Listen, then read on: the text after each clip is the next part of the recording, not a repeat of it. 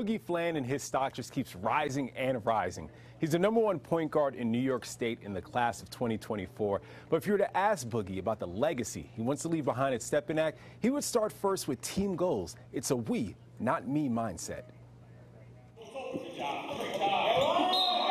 They call him Boogie. His mom gave him the nickname for his dance moves as a kid, and John Fland is still grooving a decade later. The Stepinac star is ranked in the top 10 in the class of 2024.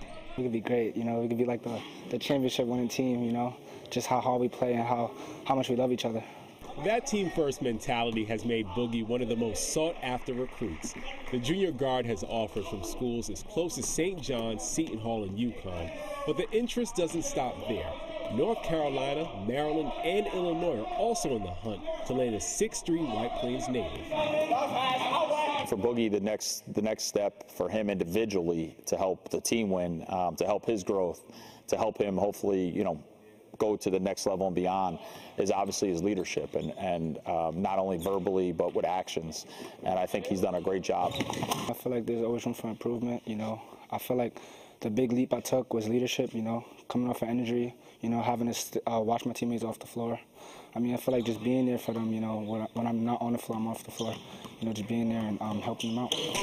Boogie's leadership and presence have been a huge help for Stepinac, who started the year off ranked top 25 in the country.